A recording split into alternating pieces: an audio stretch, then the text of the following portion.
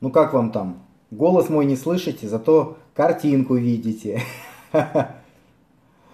Привет, друзья, привет. Кстати, вот обратите внимание, я рен рендерю выпуски сейчас. Вот такая вот будет картинка в ближайших, в ближайшие несколько недель. Да я понимаю, что слышите. Сейчас я появлюсь. Привет, меня зовут Денис Борисов.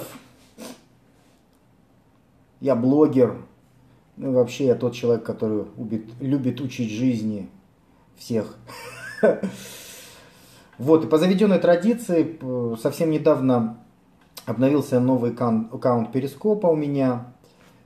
И я обычно понедельник, среда, пятница стараюсь отвечать на ваши вопросы.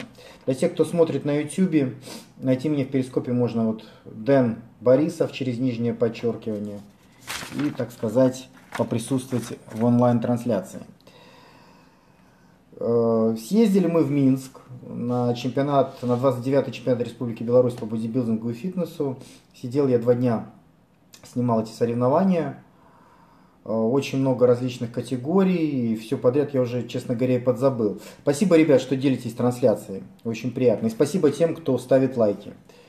Вот, съездили, посмотрели. Конечно, такой, знаете, ажиотаж, я его где-то немножко уже забыл, потому что уже давно не выступал на соревнованиях. Ну, в общем-то, здорово. Здорово, хотя утомительно, хотя люди потратили очень большие деньги, у кого-то слезы радости, у кого-то слезы печали, все так как-то динамично. Нет, я готовиться не захотел, у меня такого желания нет. Э, Рим 41, спасибо, что поделился трансляцией. Но ну, смотрю, что это достаточно дорогое удовольствие. Сейчас, в общем-то, не дешево просто заниматься бодибилдингом или фитнесом. Просто питание обычное, да, такое обычное с точки зрения культуризма или фитнеса, это достаточно дорого. А если мы говорим про соревновательный профессиональный культуризм, это вообще очень дорого. Да, ребят, добрый вечер. Если у вас есть какие-то вопросы, давайте приступим. Я минут 20-30 посижу с вами, а потом буду дальше работать, потому что Рендери очень много сюжетов снял, и я собираюсь э, послезавтра, даст Бог, э, выпуск подполья внеплановый сделать. Но буду стараться по возможности, когда будет свободное время, делать выпуски подполья. Вот хочу завтра подготовить, чтобы послезавтра его запустить. Сюжеты про английский язык я так не говорил. Я говорил, возможно, что я снимаю сюжеты на английском языке. У меня такие сюжеты действительно сняты на основном канале jimper.com и сайте американском. По-моему, два или три сюжета выложено, еще семь у меня лежат в закромах, я их могу выпустить в любой момент. Но я это не делаю, потому что в данный момент я все-таки даю приоритет русскому каналу, русскому YouTube, и мне не хватает времени. На тендерах, конечно, можно заработать. На тропы работают очень слабенько, не советую. А, сайт, в общем-то, ну, фактически готов. Осталось сделать две правки. Причем одна из них для мобильной версии. Там я сегодня нашел баг, был э, полоска черненькая. И, и, и, и, и, и, и, и что-то. А, и еще с персональными блогами я хочу сделать более аккуратный вывод. Ну, в общем-то, сегодня написал вот эти две правки. Все зависит теперь от программиста. Как только он сделает эти правки, мы сможем перезаливать а тестовую версию на основной домен fitforlife.ru и конференция заработает, вы сможете общаться. Ну, большинство сейчас э, платформ open source, они идут, э, в общем-то, под мобильную версию. Я делаю конференцию сейчас, в основе конференции будет лежать движок Xenfora, в нем, в общем-то, мобильная версия очень хорошо проработана. Как жить, если надоело общаться с людьми? Живи, не общаясь. Э, так а что значит, давай к сушке не отходи от темы? Я с удовольствием, я просто жду ваших вопросов. Я не расслабился, ребят, наоборот, я работаю гораздо больше, чем работал год назад или два года назад. Если вы помните, год э, или два назад выходил один сюжет в неделю, а сейчас выходит один сюжет в день. Один сюжет в день. Кроме того, сейчас идет очень массированная работа над э, конференцией, Fit for Life переделывается, то есть весь сайт переделывается. Теперь на нем будут блоги, форумы, все это модерируется, все это настраивается. Возможно, кому-то кажется или хочется, чтобы казалось, что денчик работает мало и что денчик подзабил. На самом деле я каждый день работаю от 5 до 10 часов над созданием сюжетов, над написанием статей, над монтированием всего этого дела. А еще я отвечаю на форумы, на техподдержку раз в два дня, так что не надо тут на денчика наговаривать. Если девушка зовет гулять, то надо идти с девушкой гулять. Есть еще время подкачаться к лету. Да к лету можно еще изменить все на свете. Да, я женат.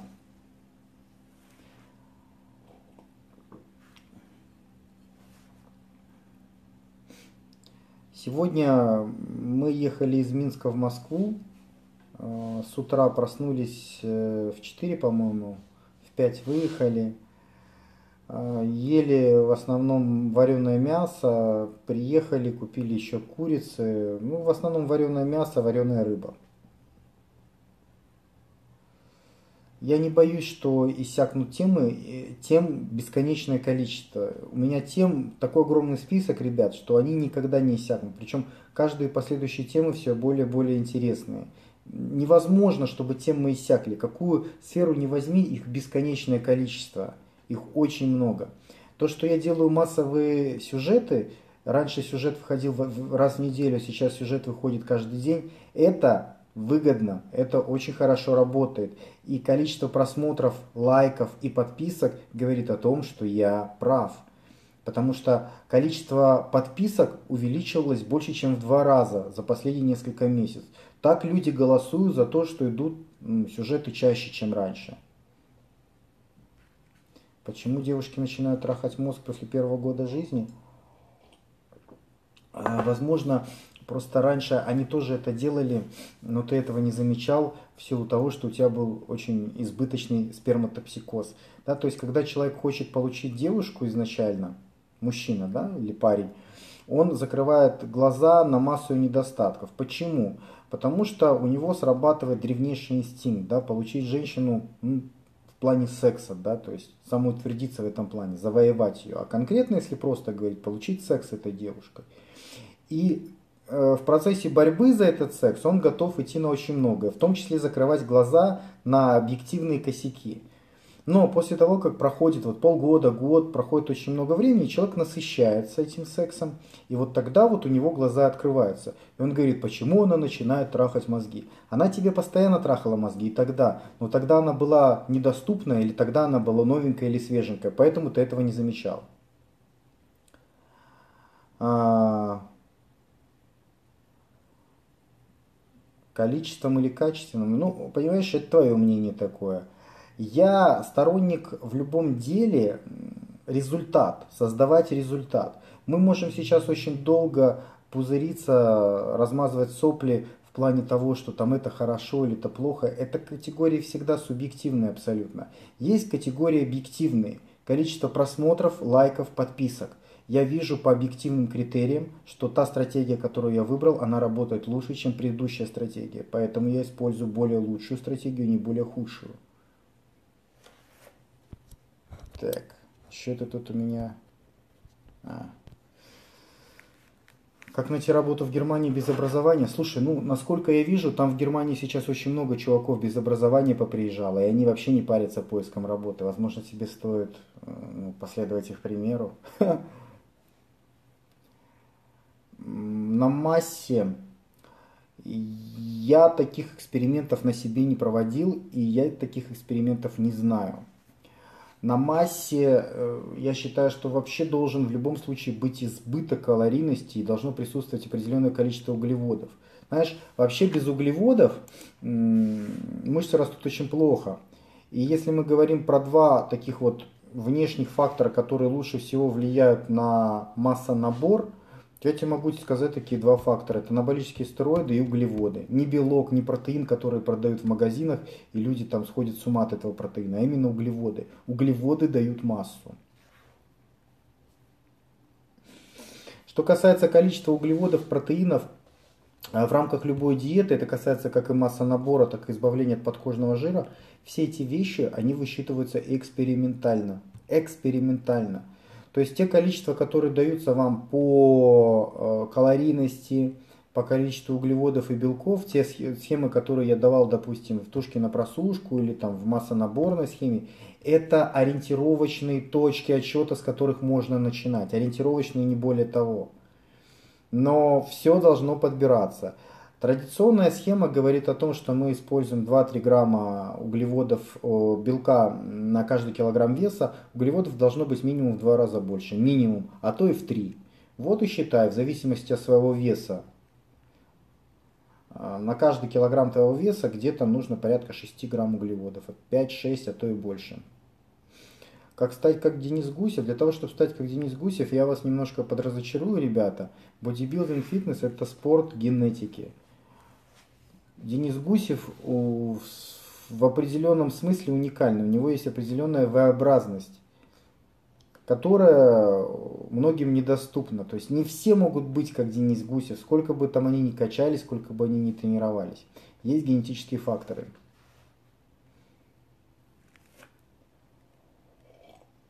Да, грустная музыка очень сильно влияет на представление действительности, особенно в грустную погоду. Музыка, она очень значительно влияет на всплески допамина у нас в головном мозге. То есть вот, э, знаешь, вот идет какая-то тема такая новая, прикольная. Ну, постоянно такие темы. Я помню, в моем детстве это был там It's My Life, доктор Албан, потом там Духаст был, потом Продижи. То есть вот идет вот начало песни, да, а потом идет какая-то сильная доля, какой-нибудь там интересный припев, и ты вот ждешь этого. Вот это вот ожидание, поощрение, да, это вот и есть допамин. То есть музыка очень сильно стимулирует поощрительную систему нашего организма, систему удовольствия, да. И именно поэтому она очень сильно влияет на наше настроение. Какая-нибудь минорная музыка, она может вообще в минус загнать твой уровень допамина. А какая-нибудь динамичная, она его поднимает, тебя заряжает энергией, тебе хочется тренироваться. Выросло достоинство. Ты понимаешь, э, очень сложно оценивать, выросло, выросло у него достоинство от курса или само по себе. То есть качонок, вполне возможно, что у него был пубертантный период, он был еще достаточно молодой. Может быть, просто наложились процессы. Может быть, бы у него и так сам по себе бы вырос и без всякого стероидного курса. Рис на сушке это традиционное блюдо. То есть я отношусь к этому хорошо. Тут зависит больше от количества. На рисе подготовились к соревнованиям безумное количество атлетов, поэтому это продукт нормальный. Читмилы, э, да, на, и на сушке они могут работать, и на массе они могут работать. Но, на мой взгляд, читмилы на сушке более в тему, чем на массе. Ну, смысл у них есть какой-то но не для всех. То есть, если вы уже конкретно просохли, действительно, если вы там видите, что у вас замедляется обмен веществ, то читмилы могут вам помочь. Они, а, даже я вот замечал такой момент, а, поешь хорошо, там полдня, допустим, а потом неделю, вот первая неделя у тебя даже, ты становишься суше, жиросжигание идет быстрее. Ну, то есть можно подобрать такое, такое администрирование читмилов, при котором твоя сушка не то, что не будет идти хуже, она будет идти лучше. На сушке пропал сон, такое может быть.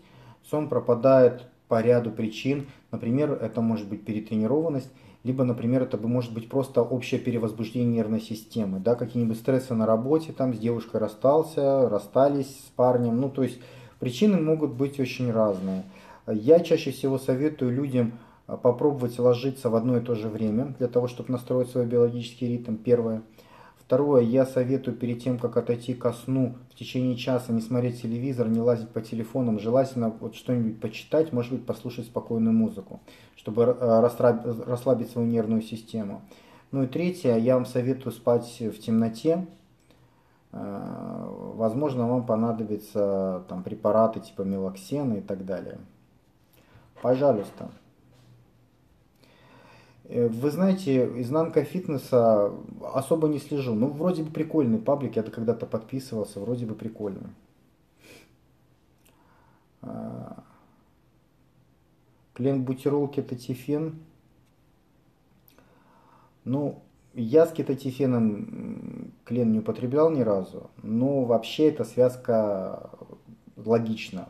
В этом есть смысл для того, чтобы клен лучше работал. Нет, я в тендерах не участвовал лично.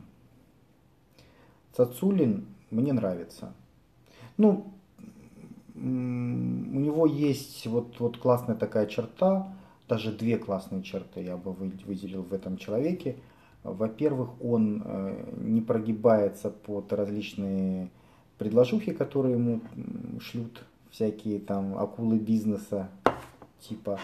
А вторая причина, что он очень глубоко и старается по-научному разобраться в каждом вопросе.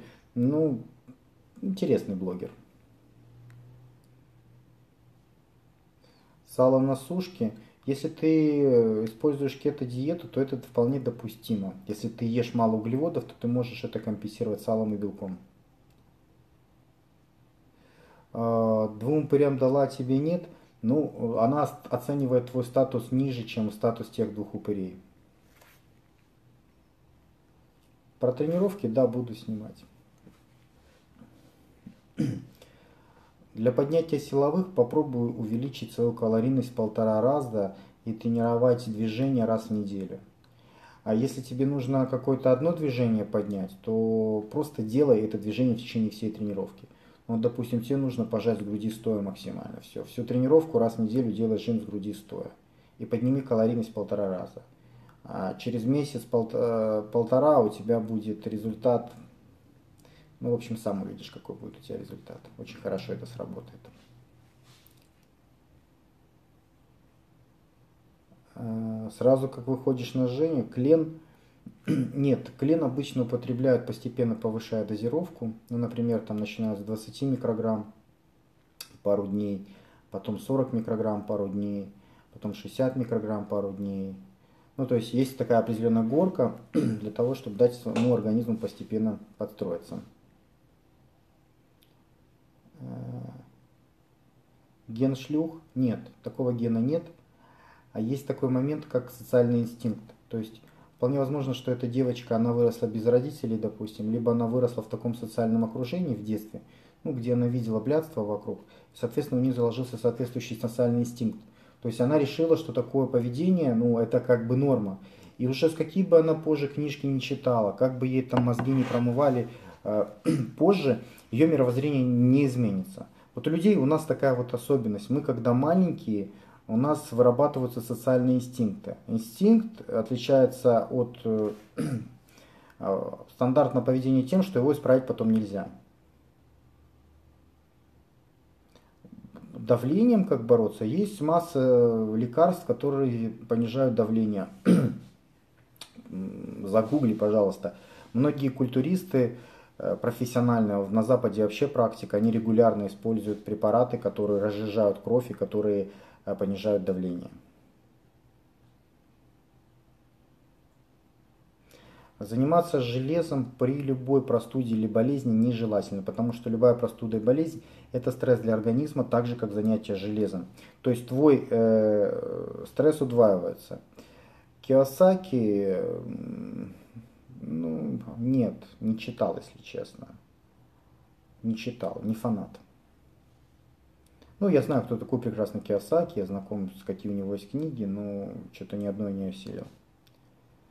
Инсулин без стероидов принимать не стоит. Инсулин без стероидов стоит принимать только в том случае, если у тебя, если ты используешь гормон роста, либо у тебя есть предрасположенность к сахарному диабету, для того, чтобы ну, защитить свою поджелудочную.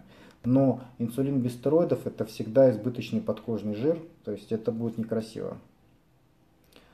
Торвальду нейтрально отношусь, я плохо знаком с его творчеством. тироксин 500 э, микрограмм гробит. Сильно слабо это категория относительная, зависит от количества собственного тироксина, от твоего возраста, от твоих тренировок, от, от даже от стресса, от даже от твоей подкошки, от многих вещей зависит, это все индивидуально. Да, я получал удовольствие от работы в стриптизе, причем очень большое. А, девочки и все такое, это радовало. Углеводное чередование на сушке. Я бы тебе посоветовал на сушке углеводное чередование построить по принципу, знаешь, читмилов. То есть, э, ну, хотя тут, конечно, тоже зависит от того, сколько подкожного жира, и сколько ты весишь, сколько у тебя мышц.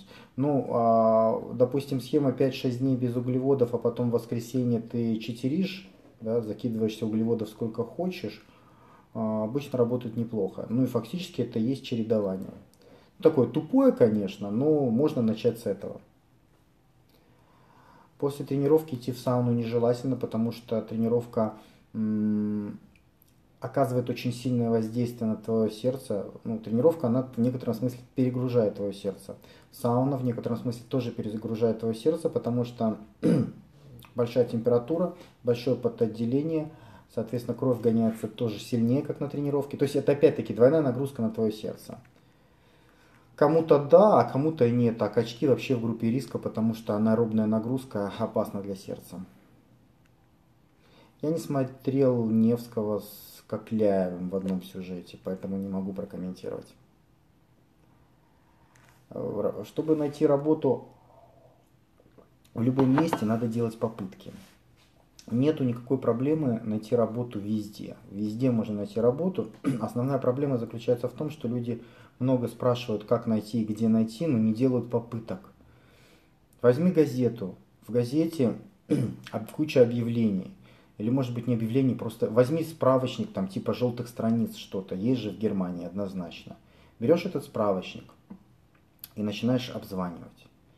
Если ты будешь по 5 минут тратить на одну фирму, то в час э, ты обзвонишь 12 фирм, за 10 часов ты обзвонишь 120 фирм. Ну пусть 100 фирм ты обзвонишь в день. Сколько ты обзвонишь фирм, фирм за месяц, за 30 дней? 30 умножаем на 100, 30 тысяч, да? Нет, 3 тысячи. 3 тысячи фирм ты можешь, 3 тысячи попыток ты можешь делать в течение месяца. Я уверен, что среди трех тысяч попыток кто-то до тебя возьмет на работу. Но ты же это не сделаешь. Ты будешь и дальше спрашивать, как найти работу, что делать так тяжело тут русским и все такое прочее. Да нет у меня никаких дел. Я уже давно не привязан к какой-либо географии, я могу жить и работать где угодно. Вот в данный момент решил в Москве поработать. Индивидуально? Ага. Индивидуально Денчик сейчас никого не тренирует, не консультирует. Свой бизнес или работа по образованию? Ага, так для это слишком мало условий. То есть э, по образованию какие у тебя есть варианты?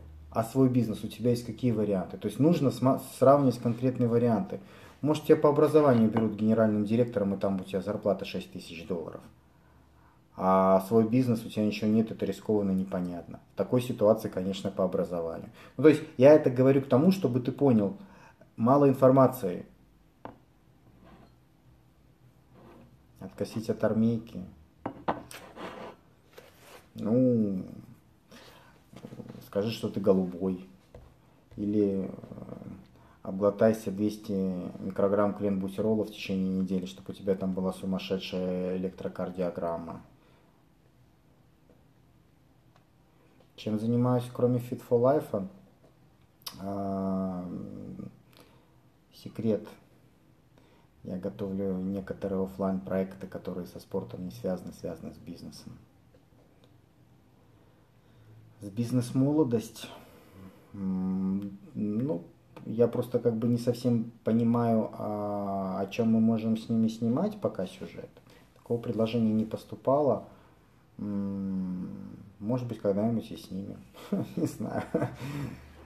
Но они... Э, у них практически весь контент, который они генерируют, он связан с зарабатыванием денег. Да? То есть на продаже коучинга всяких, там, тренингов и так далее. У меня нет. То есть в этом плане мы отличаемся. С другой стороны, всегда можно найти какие-то точки соприкосновения. К Абрамовичу. Ну, человек успешный, человек э, состоявшийся, человек, у которого было очень, было очень интересное мировоззрение. Очень интересное мировоззрение. Может быть, даже когда-нибудь я сделаю целый сюжет на эту тему. Мечта. А, Аня делает трансляцию, просто дело в том, что мы четыре дня были в Минске на соревнованиях. Э, я снимал все это время, она судила все это время. Мы спали где-то часа по три, по четыре, вот. И нифига не делали, то есть пришлось отложить все дела. И сейчас у нас такая фаза восстановления. Мы сегодня приехали, я думаю, она отдохнет и выйдет на связь. А где твои нормальные вопросы? Я... Пиканалинат хрома фигня не работает. А, на ближайшие пять лет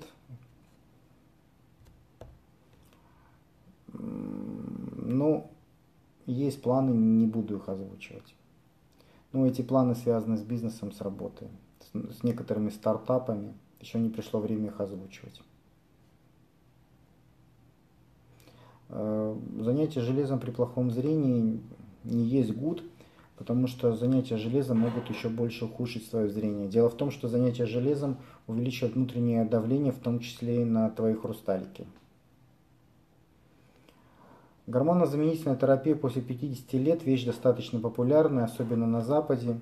Обычно представляет это из себя что-то в стиле 100-200 мг а, в месяц колят. Я думаю, в реальности для того, чтобы себя хорошо чувствовать, мужчине 50-100 мг тестостерона в неделю достаточно. И при, таком, при такой заменительной терапии тестостероном а, мужчина чувствует себя более молодым, психологически ему проще, легче. Дело даже не только в сексе. Дело в том, что само качество жизни улучшается. Хочется путешествовать, э, что-то пробовать новое, знакомиться с людьми и так далее. Помогает избавиться от депрессии, кстати. Чтобы научиться концентрироваться, это дело нужно тренировать. То есть концентрации э, нужна фокусировка и контроль этого времени, момента по времени, да, то есть вот сконцентрировался на какой-то задаче, у тебя много отвлекающих факторов. Вот засеки время, там, допустим, вот я что-то делаю хотя бы там 3 минуты, не отвлекаясь. Потом в следующий раз пробуешь это время увеличить, делать 4 минуты, потом 5 минут. То есть для начала, чтобы что-либо развивать, в том числе и концентрацию, нужно это идентифицировать, нужно начинать это отслеживать. Да, э, в бодибилдинге после 50 лет, ты имеешь в виду, как соревнующийся атлет, я себя не вижу после 50 лет, но как человек, который регулярно тренируется железом и продолжает следить за своим внешним видом, я себя после 50 лет вижу очень хорошо. Пропитку с добавками, что скажешь, годовой курс, э, ну что, что, а что сказать, что и какой годовой курс? Для чего, ребят? Ну давайте вопросы как-то более конкретно. Что скажешь про годовой курс? Ну скажу, что это убивает твою э, гормональную систему, она полностью засыпает, и для того, чтобы она потом проснулась, может понадобиться еще год. По своей специальности юридической я не работал. У меня было три, три предложения после института, я отказался, потому что они были там 50-100 долларов, по-моему, что-то такое. Ну, в те времена зарплаты, конечно, были меньше, но я уже на тот момент заработ... зарабатывал не по специальности гораздо больше, и мне это было невыгодно, поэтому не пошел работать. Почему аккорд не купил себе? Потому что я не фанат автомобилей, в общем-то. Мне понравилась Mazda, я посмотрел, и я начал торговаться, я вынес мозг э, этим продавцам, сразу там в пяти или шести салонах Москвы. Э, у каждого узнавал более комфортные цены, потом начинал озвучивать цены, которые мне предлагали другие, так круг за кругом, круг за кругом, пока не пустил цену там, по-моему, до 17,5 тысяч за новую рестайлинговую Мазду. То есть у меня, э, мне получилось их всех там по цене очень здорово опустить. Поэтому купил все.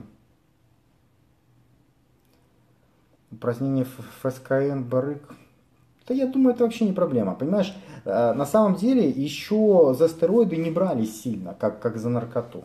Не брали за это дело. Но когда за все это возьмутся, мне кажется, барыги найдут массу простых способов, как это обойти. Я вот сходу вижу один замечательный способ, который в России пока не работает, а в Штатах все этим способом пользуются. Я говорю про Тор, да, глубокий интернет. Шпак опять за свое? Да не знаю, я не слежу за шпаком. Да, анаболические стероиды повышают настроение.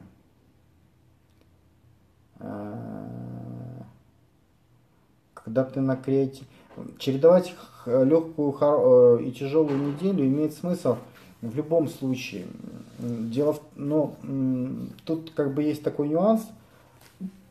Если ты, если ты на массе, то тут есть следующий нюанс. То, ну, я имею в виду на химической, да, на стероидах, то на легкой неделе старайся делать больше такую пампинговую тренировку. Не то, что она у тебя должна быть просто вот легкая, как без стероидов, она у тебя должна быть именно пампинговая.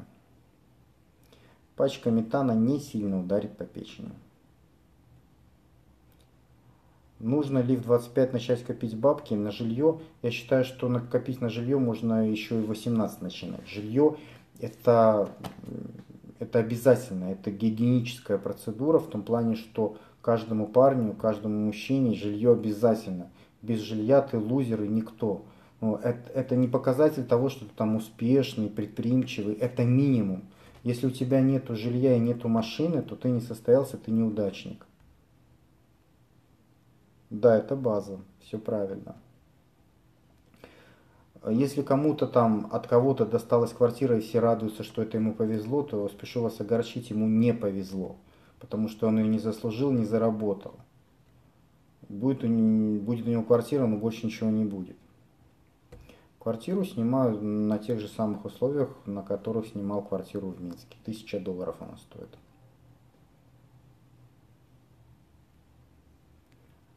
Жилье есть разница, где в столице или в Мухасранске. Но как ты думаешь, разница между столицей и Мухасранском есть? Мне как-то кажется, что есть. Комнату. Ну что, показать комнату или что? Вот комната.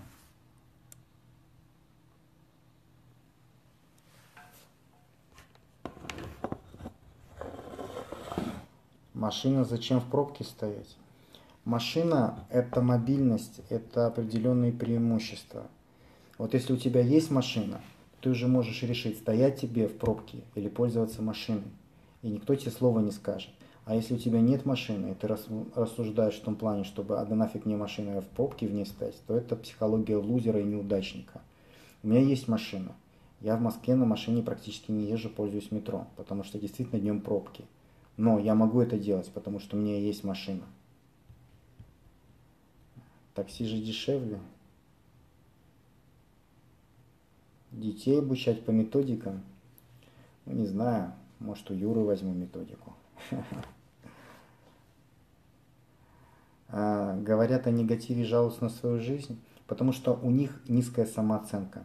Чем ниже у человека самооценка, тем больше он жалуется на других, и тем больше он жалуется на свою никчемную жизнь.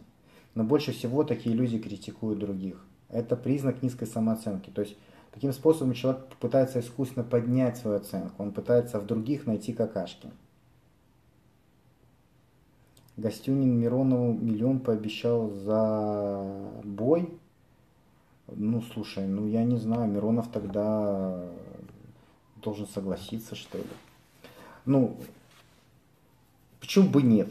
Ну, в любом случае оба получат пиар, я так понимаю. Если это действительно так, а, оба получат однозначно крутой пиар, потому что если они там помутузятся хорошо, все будут смотреть, это поднимет очень большую движуху вокруг них. А Миронов еще получит... Ой, Миронов еще получит миллион. Вот. То есть, ну, может быть, ему стоит над этим подумать. Офшоры Путина 2? А я не знаю, я, честно говоря, не смотрел. Я не уверен, что это правда. Там, то, что все по телевизору показывают, пишут и так далее.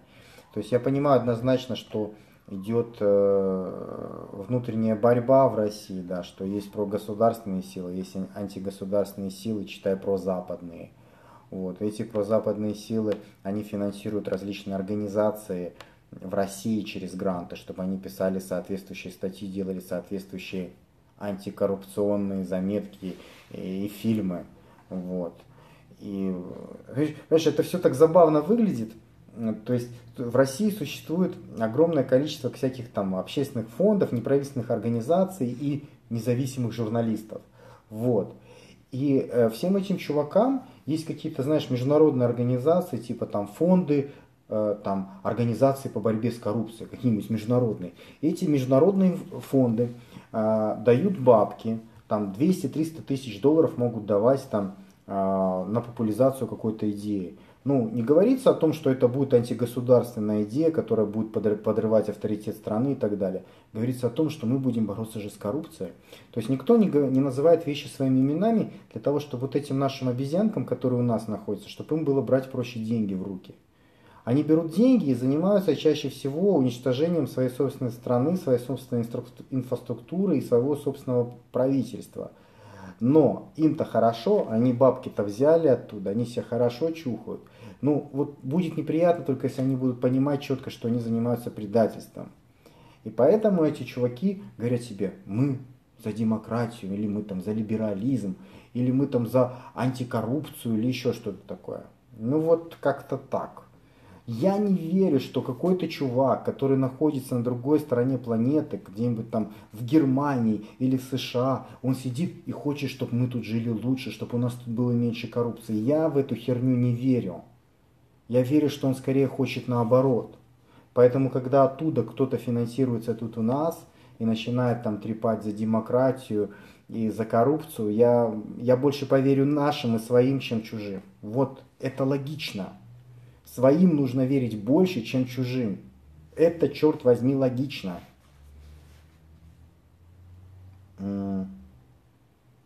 Ботанить в УЗИ смысл? Э, в твоем случае смысла нет никакого. Потому что ты не знаешь, зачем ты это будешь делать. То есть, если человек, как ты, вот задает вопрос, есть ли смысл, это априори говорит о том, что ты не знаешь, зачем ты там учишься. Если ты не знаешь, зачем ты учишься в ВУЗе, зачем ты туда пошел? Пять лет тратить самого ценного в своей жизни – жизни. Смысл э, ботанить есть, когда ты знаешь для чего. Доллары. Сложный вопрос. Сложный вопрос. Старайся брать что-то активное. Старайся покупать недвижимость, может быть землю, старайся покупать золото. Очень многие вещи будут понятны осенью, в зависимости от выборов в США. То есть если Хиллари победит, то скорее всего доллары нужно будет оставлять, они еще в ценности подрастут. Если исследования реальные, о чем? Стоит ли пройти курсы тренера по фитнесу? Зачем? Ты хочешь работать тренером по фитнесу? Иди устраивайся, работай тренером по фитнесу. Зачем ты создаешь себе стены вместо того, чтобы строить мосты? Не разберусь, чем готов заниматься бесплатно. А я-то чем не могу тебе помочь? Я тебя даже не знаю. Ищи, что тебе нравится, чем нравится. Обрежет нули на рублях к 2017 году. Я думаю, еще рановато обрезать рубли, э, нули на рублях к 2017 году. Хотя, конечно, это возможно. Но вот я тебе могу сказать, что в Беларуси планируется деноминация на лето. И, скорее всего, будут срезать э, 3 или 4 нуля. Ну, то есть в России нету такого количества нулей, чтобы делать деноминацию. Хотя все возможно. Я не планирую выступать на соревнованиях по культуризму.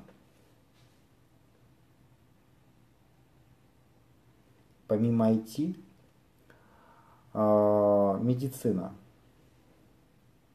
Медицина а, скорее всего, будет востребовано через 5, 6, 10 лет гораздо больше, чем сейчас.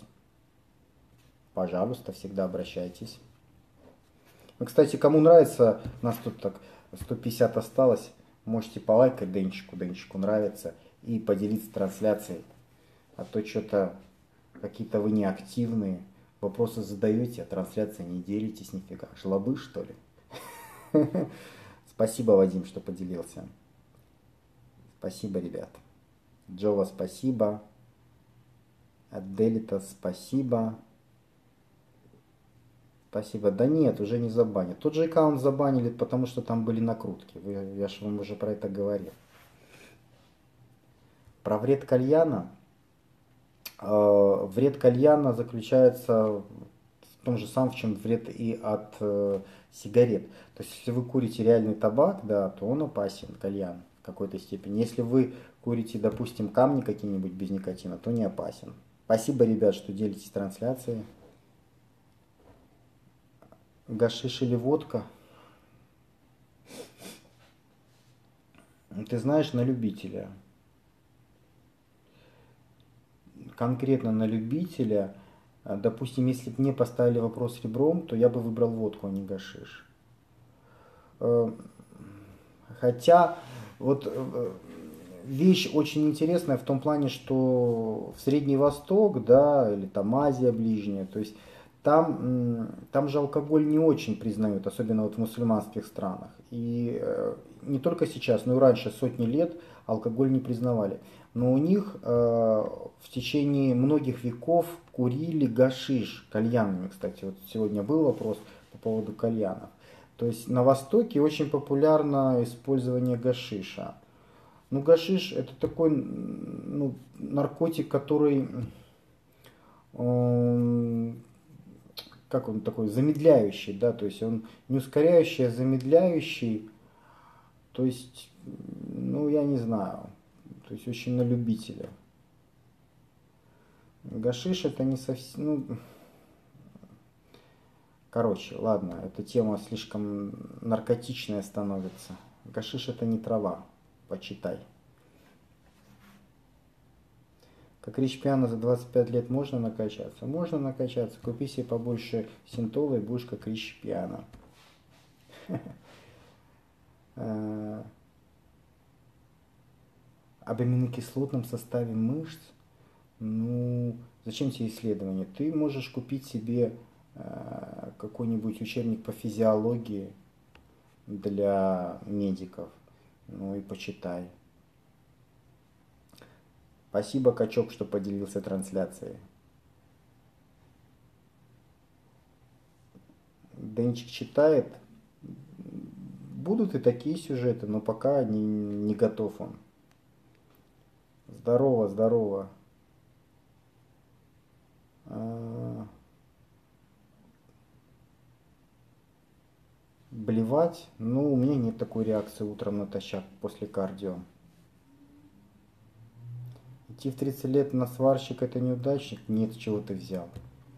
Неудачник это не, не то, где ты работаешь, это то, когда ты не зарабатываешь и ты не можешь реализоваться. Может быть, ты сварщик от Бога. Может быть, ты будешь такие вещи делать, что ты будешь крайне востребован. С чего ты взял? Нет, везунчик не жалею, наоборот рад. Мне эта татуировка помогает. Назарбаев в чем-то хороший, в чем-то плохой, но больше хорошего. Э, концепция общественной безопасности. Многие вещи нравятся, многие вещи не нравятся. Мне, знаешь, мне не нравится там вот, вот эта вот предыстория, которая начинается вот про, по, по поводу египетских вот этих всех жрецов, такое впечатление, что чуваки просто вот начитались вот этого вот курса истории еще в Советском Союзе по поводу того, что там древнейшая цивилизация это Месопотамия и Египет, и потом на это начали лепить свои концепции. То есть как-то вот они вот уверенно вот пишут вот как там было. Никто не знает, а они знают, как там было. Вот мне не нравится, когда начинают люди фантазировать. Я очень часто во всем сомневаюсь. И вам всегда об этом говорю, что всегда нужно все проверять и сомневаться. Если ты уверен, что вот ты знаешь истину точно, то все, твое развитие остановилось. А в КОП именно такая ситуация. Но есть и очень интересные вещи да, по поводу того, что глобальная цель это э, какое мировоззрение, какая концепция победит э, в плане глобализации, у кого будет власть. Ну, интересные есть вещи. К волейболу отношусь хорошо потому что моя жена мастер спорта по волейболу.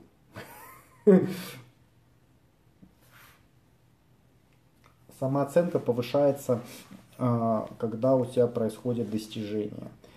Делай попытки, достигай чего-нибудь, у тебя будет повышаться самооценка. Самооценка у тебя будет повышаться, когда ты будешь выходить из зоны комфорта. Тебе не хочется, вначале неудобно, потом ты привыкаешь, тебе становится все лучше, лучше и лучше, и самооценка будет повышаться.